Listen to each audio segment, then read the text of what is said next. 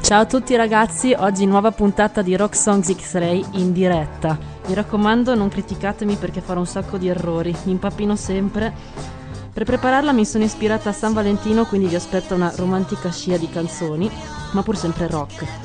Rock come numero 27, gli anni delle morti rock, quelli che compierò io tra poco e quelli che aveva la Winehouse quando decise che una bottiglia di vino conteneva la sua vita quella sofferta a causa degli amori incompresi o persi, proprio come la sua Love is a Losing Game dall'album Back to Black del 2008, scritta in un momento di forte crisi. Il suo ragazzo Blake Fielder l'aveva lasciata per tornare con la ex, per poi ricomparire dalla Winehouse una volta che aveva finito il suo album e sposarla nel 2007.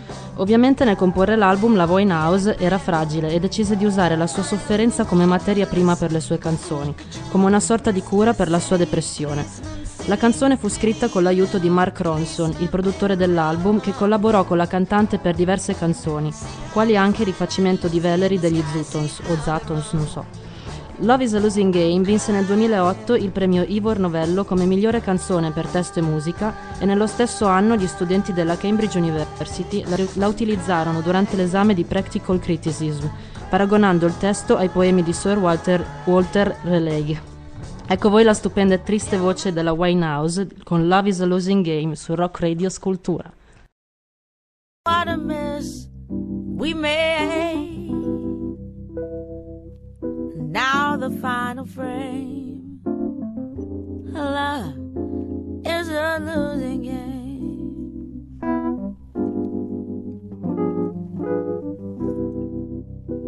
Played out by the band. love is a losing hand. And it was more than I could stand. Love is a losing hand. Self professed, profound, till the chips were down though you're a gambling man. Love is a losing hand.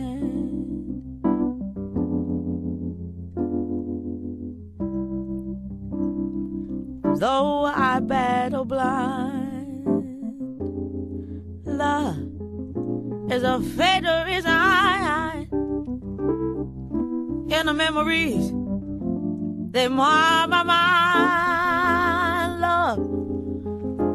fate or resign.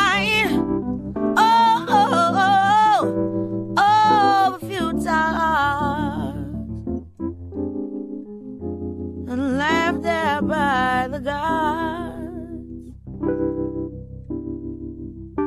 Now the final frame. Love is a losing game. Beh, come si chiama il mio programma? Prossimamente. Con, uh, con me, cioè che sono io, Siria. No, ho sbagliato. Siria sono io. Siria Rock Gossip. Lo sapevate che nel 1961 Siria Rock Gossip classica Stratocaster and Baxter Siria Rock Gossip Siria Rock Gossip Siria Rock Gossip Gossip Gossip. Ogni settimana Siria Rock Gossip.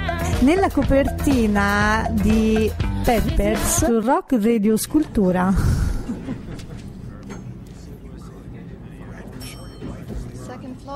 Hardware, children's wear, ladies lingerie. Oh, good morning, Mr. Tyler. Going down.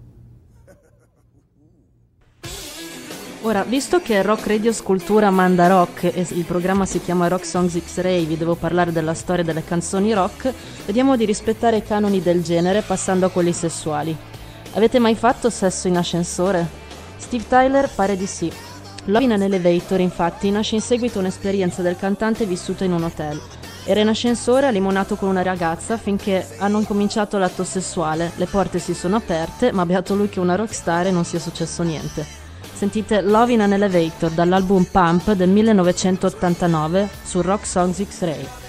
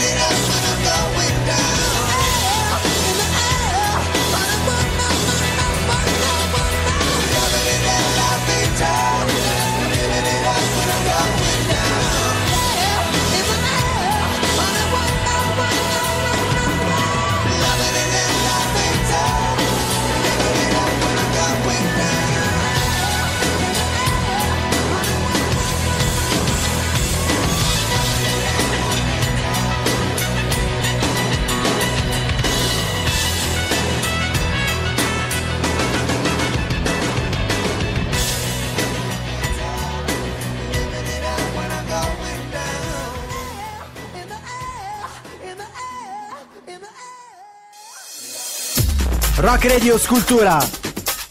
Martedì e giovedì sera. Rotazione musicale. Rock Radio Scultura. Rock Radio Scultura. Martedì pomeriggio, rotazione musicale, i brani migliori estratti dalla nostra playlist. Yo, Rock Radio. Rock Radio. Rock Radio. Rock Radio. Rock Radio Scultura. Scultura. Scultura. Scultura. Scultura. Scultura. Scultura. Scultura. Scultura.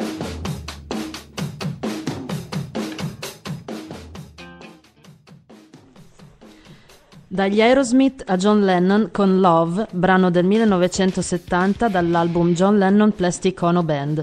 Scritta e suonata dal guru del rock, è una canzone cupa che parla di quanto sia forte l'importanza dell'amore, tema comune nelle sue canzoni, scusate la tosse. Fu remixata nel 1982 per la compilation John Lennon Collection, dove trova- troviamo Phil Spector al piano e alla copertina una foto della Leibovitz, fotografa del Rolling Stone Magazine, che ritrae John Lennon radicchiato su, Rocco- su Yoko Ono.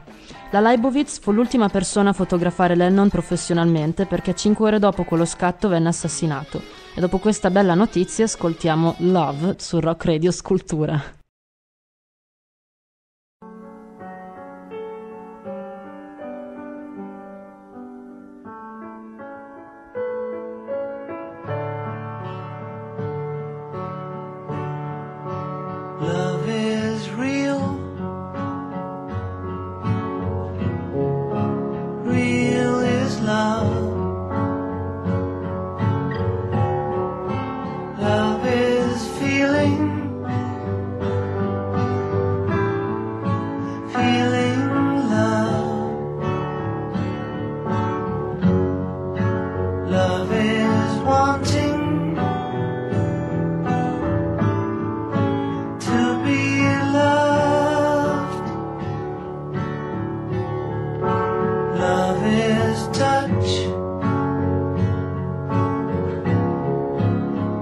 just love.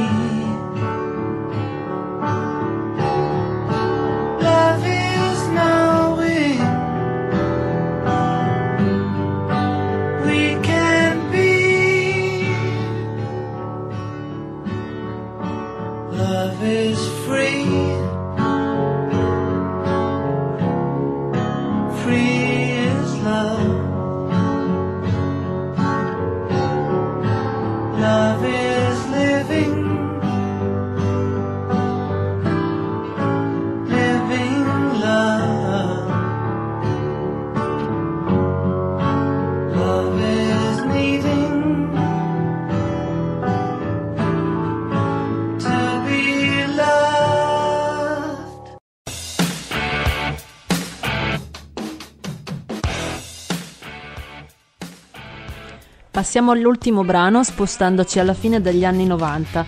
È il 1998 quando i Goo Goo Dolls scrivono Iris, che è famosa ma non è tratta dal primo album della band, bensì dal sesto, Dizzy Up the Girl, che poi diede la fama al gruppo. Scritta dal cantante col nome impronunciabile Johnny Rzeznik, dopo aver passato un blocco nello scrivere musica che lo portò in cura psichiatrica, Iris parla di una persona con un'identità invisibile che nessuno capisce, ma che trova il vero amore ovviamente l'unico a comprenderlo. Il nome Iris non appare nella canzone, ma è ispirato a Iris Dement, una cantante country il quale nome era stato letto dal frontman sul giornale. Ecco l'ultima canzone del programma di oggi, Iris dei Goo Goo Dolls 1998.